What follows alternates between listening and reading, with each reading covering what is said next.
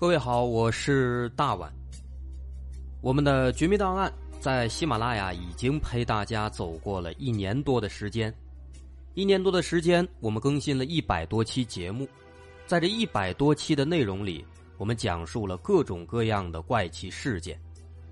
那在今后呢，我们也想尝试去做更多的其他类型的内容，比如一些自然怪象，比如有一些名人的黑幕。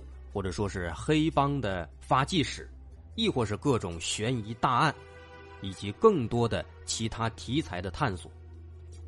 针对这些内容，目前我们也已经有了一个大概的规划。我们将会把这些内容做一个大概的整合，放在之后我们即将推出的一个新的专辑当中。这个专辑的名字暂定叫做《绝密档案：深夜调查局两百家尘封的未解之谜》当中。需要说的是，这个新专辑我们决定在喜马拉雅作为会员节目进行独家播出，总计有两百多集的内容。专辑上线时间将会在不久之后的九月九号，大家届时可以在喜马拉雅搜索关键词“绝密档案深夜调查局”，就能够找到这部新的专辑了。在上线前的这段时间当中，也欢迎大家添加我们喜马拉雅工作人员的微信。X m l y 零三三零，也就是喜马拉雅四个字的拼音的首字母加零三三零，x m l y 零三三零。添加微信之后，工作人员将会把大家拉进喜马拉雅官方的粉丝群，届时将会有不少福利活动，送喜点、送签名书等等其他惊喜在等着大家。需要特别说明的是，新专辑。将会是喜马拉雅的会员专辑，也就是说，如果您是喜马拉雅的会员，就可以免费收听本专辑。目前，喜马拉雅的会员价格为每个月六块钱，六块钱就可以听到我们的两百多集故事，也是很划算了。希望大家能够多多理解，多多捧场。九月九号，我们不见不散。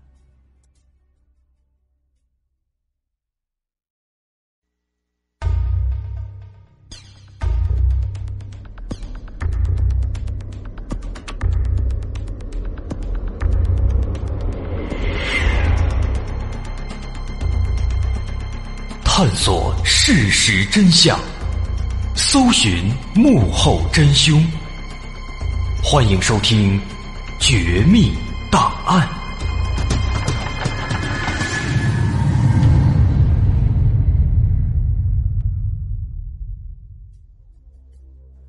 我们刚刚说了，有关这起案子的真相，在民间流传着很多版本。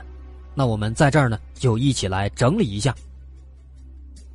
刚刚我们在末尾提到了小圈子，这就涉及到了民间最早流传的两个案件的版本。第一个版本认为，刁爱青的死是吸毒致死。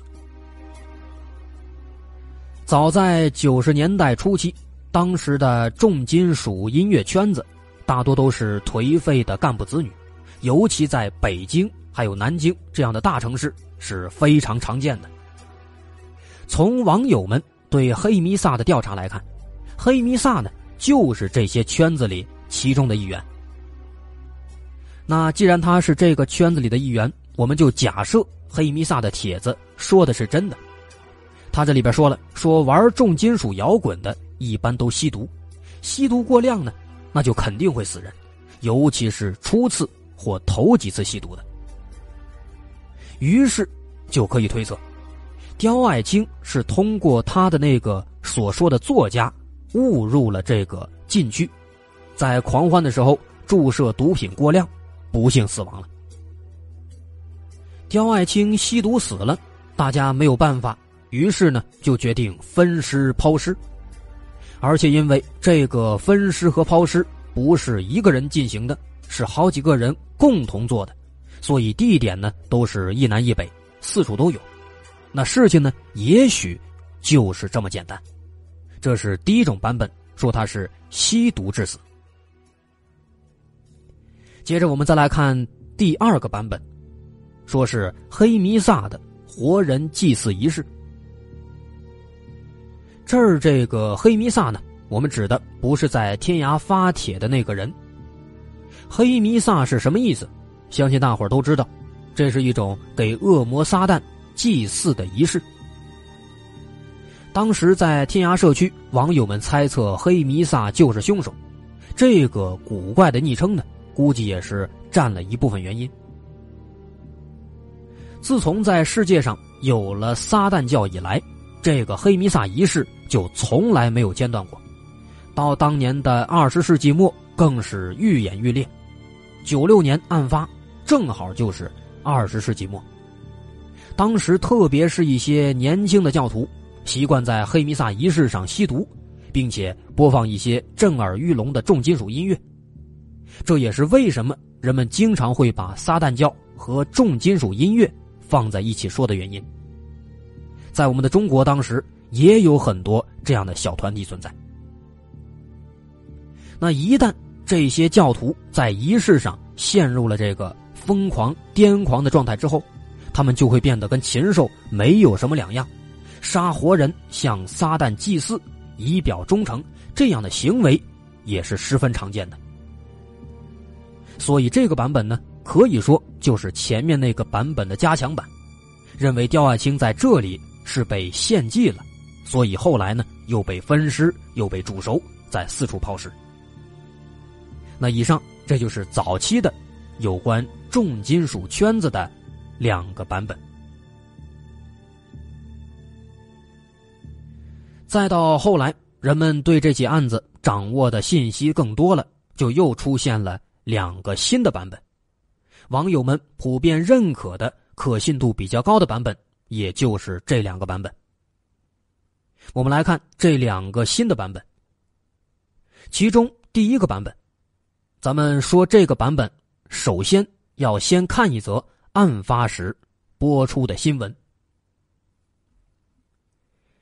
一九九六年一月十九号，黎介寿院士再次成功的进行了亚洲第二例人体异体小肠移植手术，使南京军区总医院成为全世界能够进行这种移植手术的九个国家中的二十四所医院之一。是亚洲地区唯一能够实行这种手术的医院。这则新闻看似跟这个案子没有什么关联，但是细心的人发现了一个疑问，在看到这个新闻之后，就引起了一些联想。在九六年、九十年代，在当时获取医学实验器官是很难的，而在刁爱青的案子里。人们还发现了一个细节，在这个案子的描述中，说最后他的衣服和肠子都被叠得整整齐齐。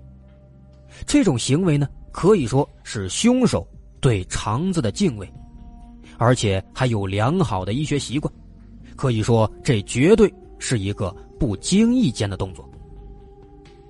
那根据这两点，很多人们就猜测，说刁爱青被碎尸。会不会跟这类实验、跟这个军区医院有所关系呢？而且据说，当时调查在查到军区医院的时候，整个调查就戛然而止了。这个医院的地点在哪儿呢？在南京中山东路三百零五号。当时案发的时候，这个医院里都有谁呀？人们调查出来，发现在这个医院。当时有黎氏三兄弟。黎氏三兄弟又是谁呢？学医的朋友估计知道，分别是黎敖、黎介寿、黎磊石三个同胞兄弟。这三个人都是著名的医学专家，在医学史上都有举足轻重的地位。据说后来没多久，这三兄弟里其中的一个就因为精神压力过大而跳楼自杀了。那根据这些线索，有人就推测，说当时这个刁爱青的死肯定跟这三个人其中一个人，或者跟他们仨全部都有关系，所以后来有一个人因为经受不住良心的谴责而跳楼自杀了。那这个说法到底靠不靠谱？我查了一下这三位医学专家的生平，目前已经去世的有李敖和李磊石，一个是九九年去世，一个是一零年去世。其中李磊石是在一零年三月二十一号跳楼自杀的。那跳楼自杀的原因，官方的说法是癌症病痛的折磨，因为之前他已经身患癌症十年之久了，可以说是病入膏肓，在临死之前肯定是非常痛苦。而且还有一点需要注意，李磊石他是研究肾脏治疗的，研究小肠的是黎介寿，所以从这些资料来看。这个李磊石，他的确是自杀的，但是真相是否跟那些人猜测的一样，这个我们还不能够随便的定论，因为这其中未知的东西还有很多，矛盾点也有不少。这是后来出现的第一个新的版本，接着我们再来看第二个版本。这第二个版本相对来说就有点意思了。说，警方其实在一九九六年就已经锁定了嫌疑人，但是因为涉及到了南京军区的高层，所以被迫的放弃了调查。这也是零八年有关这起案子的文章迅速的被封锁和谐的原因。但是这个说法呢，除了自称是知情人士的刁爱青的校友之外，没有其他的确凿物证。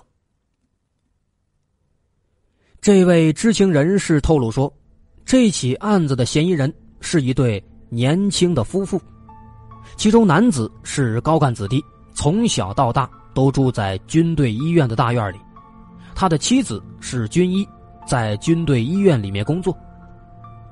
这个男子呢，学的是中文，但爱好重金属和哥特，他有一个固定的神秘的朋友圈子。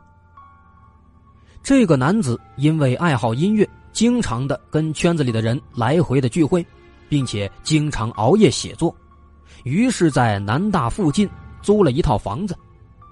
偶然的机会，他认识了刁爱青，逐渐发展成了情人关系。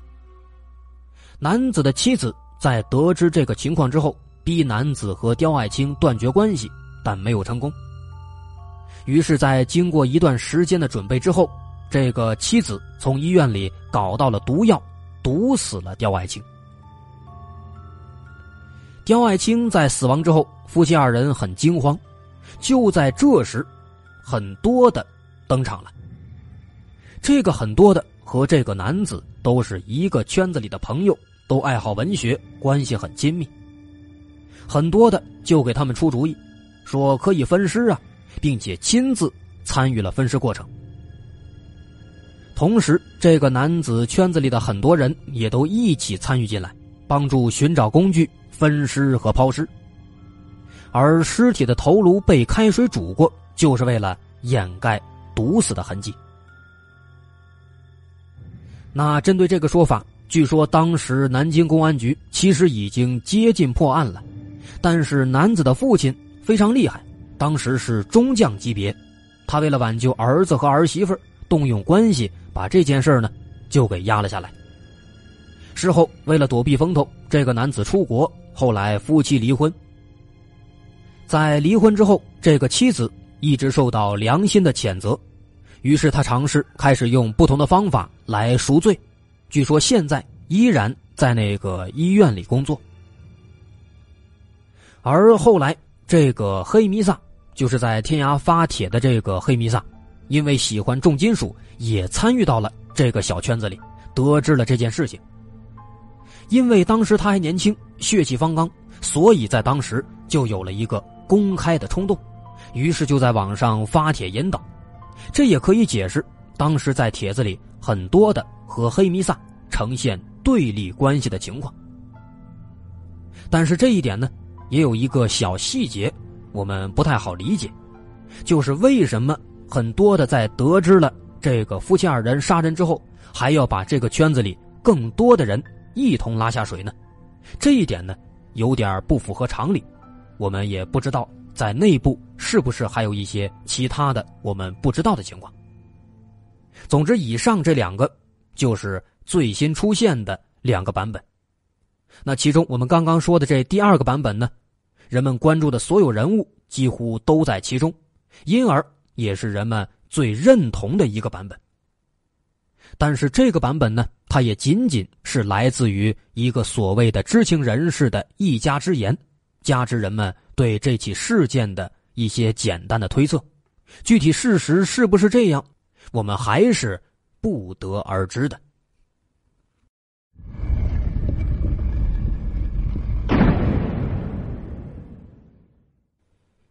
说了这么多分析，又说了这么多可能的人们民间推测的版本，到最后，咱们来聊一聊几个月前突然就火起来的有关南大碎尸案超过了二十年追诉期，正式成为悬案的说法。这个说法是怎么火起来的呢？事情发生在今年的一月十九号。一月十九号这一天，微信公众号“老南京”。发表了一篇文章，题目叫《二十年前轰动一时的南大碎尸案，今天起正式成为悬案》。这个文章列举了一些法律条文，指出今年一月十九号南大碎尸案已经过去了整整二十年，超过二十年期限的案子将不再追诉，杀人凶手或将就此摆脱法律束缚。这个说法当时一出来，立即就引起了很多人的关注，人们纷纷表示，当年的杀人魔现在已经挣脱了束缚，又要无法无天了，在网络上引起了轩然大波。当时在我们的群里也是有很多人在讨论这个问题。不过，伴随着这篇文章的出现，很快公安部的相关人士就出来澄清了。说这个二十年追诉期是针对未被发现的犯罪，比如说在某个地方发生了一起凶杀案，这个案子如果过去了二十年都没有人来报案，那二十年之后这个案子再报案也就没用了。而对于已经发现的犯罪以及逃避侦查或者审判的，不受这个追诉期限的限制。这个说法可能不太好理解，我们把它具体到南大碎尸案。杀人凶手如果没有特殊情况，那肯定在被抓住之后肯定会被判无期或者死刑。如果这个案子当初没人知道，公安机关也没立案，那么到现在的确是超过二十年了，的确就超过了刑法的追诉时效，凶手可以理所当然的逍遥法外了。那用老百姓的话来说，一起命案发生之后，杀人凶手把尸体藏了起来，没人报案，公安机关也不知道，因而就没有立案。只有这种情形才适用于这个二十年的追诉时效。但是南大碎尸案，它不是这种情况。南大碎尸案是这几年以来影响最巨大的案子之一，公安机关在当时就已经立案侦查了。虽然到现在是过去了二十年，案子还是没有侦破，但并不意味着这起案子已经超出了追诉时效。如果公安机关又有了新的线索，即便是已经过去了三十年、五十年，抓到凶手以后，也必须绳之以法。对于公安、检察、国安等国家司法机关已经掌握了线索，立案侦查。或者法院受理案件之后，凶手逃脱的，并不受这个追诉时效的限制。凶手即便是藏得再久，只要被抓到，就要受到法律的制裁，这是一个常识。很明显，南大碎尸案它不适用于刑法设定的这个二十年追诉时效，即使是四十年后、一百年后查到凶手，一样也要绳之以法。当然了，凶手能不能活到那个时候，我们先暂且不谈。所以呢，在这一番澄清之后，最初发布文章的公众号那个老南京，就已经把这个文章给跟着删除了。这个风波呢，才算是过去了。